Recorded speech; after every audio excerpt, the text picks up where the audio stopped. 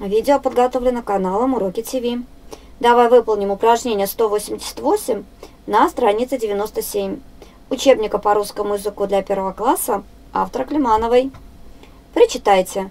Толкование каких слов здесь даны. Запишите эти слова. Высокое жвачное животное с очень длинной шеей. Это жираф. Жи пишем с буквой И. Густой лес. Это чаще.